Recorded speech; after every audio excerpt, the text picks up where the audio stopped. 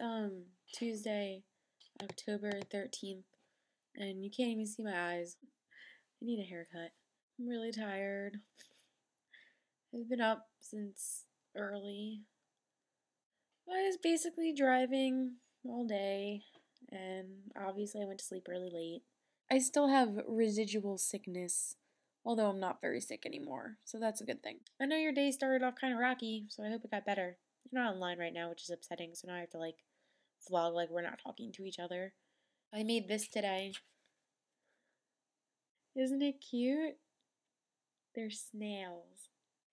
Snails see the benefit of something else. It's a format song. That's how far I got with memorizing that. Uh, and I also made this. What is it? It looks like a tube, but it's not. Check it out! I made an arm cozy. Looks like I have a cast.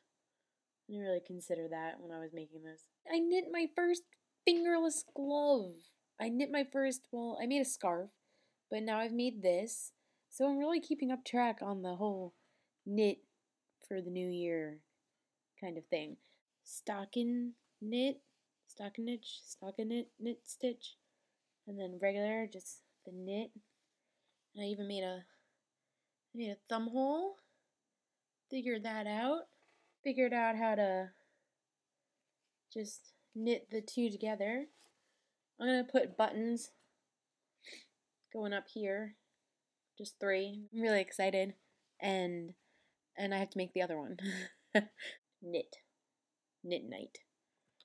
Knit. Yes. I have to go to this like informational meeting sort of interview thing tomorrow for a graphic design internship. And kind of I mean, I'm like hesitant about it just because I don't know, I'm scared. That's what it comes down to. So we'll see how that goes. I'll let you know. It's getting pretty cold. I had to dry my hair mostly for the warmth and for the style. Your video yesterday was really scary. I don't like you being out there. You shouldn't go out there at night in Ohio. There was a bar shooting, and you should not. No. No. Stay indoors at night in Ohio. Where the Wild Things Are comes out this weekend. I'm really excited because I'm really sad I'm not gonna be able to see it with you. We should go at like a really weird time so we're the only people in the theater and talk on our phone during it. Is that possible? I really like Maurice Sendak. I like monsters.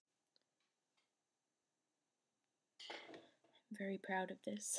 I think that's it for today. Also, um, I haven't gotten any Etsy assignments in like a week. And I know you're really busy, but I want to do mine, so you should think of something and send it to me. That's the last I will have to say. See you tomorrow.